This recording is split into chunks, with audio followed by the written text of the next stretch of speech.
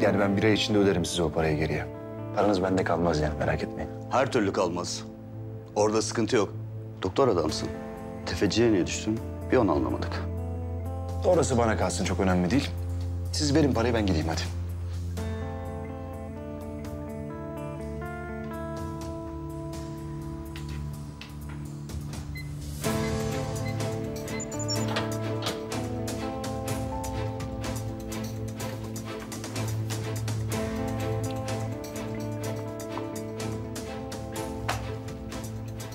Eyvallah. Say.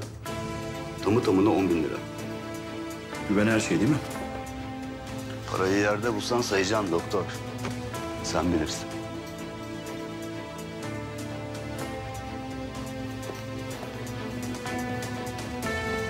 En başta söyleseydin bunu en başta çözerdik.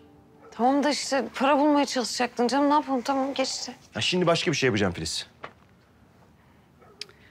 Ya biz nereden bilelim bu kadar işin çığırından çıkacağını?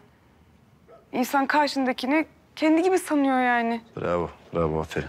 Oğlum bir de az buz parada değil ki yani. Herifler 10 bin lira istiyor. Nereden şey yapacağız onu? Ne yapalım oğlum? Ne yapalım? Evimizi mi taşlatalım? Ha? Dışarıda kavga mı edelim? Ne yapalım? Bir şekilde bulacağız o parayı. Adamlar düştün yakamızdan. Ya belki ceza falan alırlar, akılları biraz başlarına gelir ha?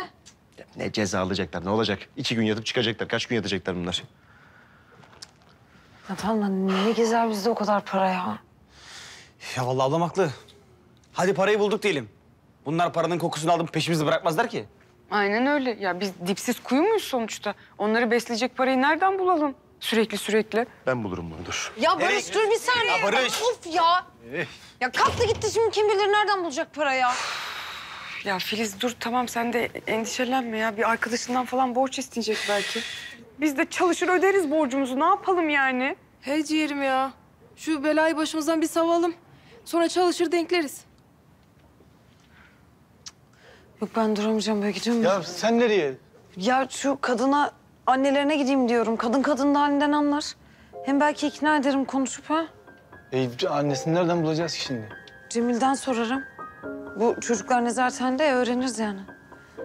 Onlar yokken gideyim konuşayım hadi.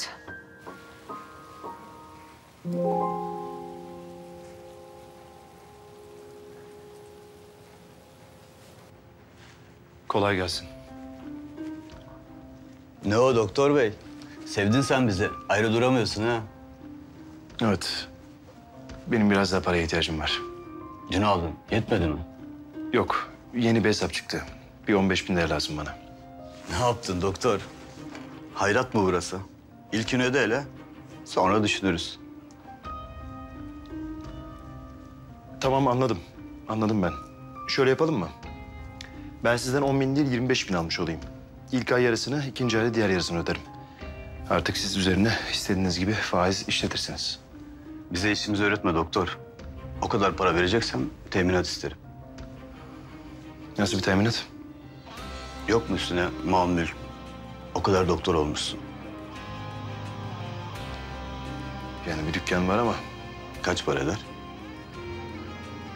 sizin borcunuzu her türlü karşılar o dükkan. Zaten içinde şu an bir sağlık ocağı var. O yüzden ben onu satmak istemiyorum asla. Demek istediğim ben borcu her türlü öderim yani. Ama içim rahat edecek diyorsanız gene de bir sözleşme yapabiliriz. Benim için fark etmez. 25 bine karşılık 60 bin geri alırım.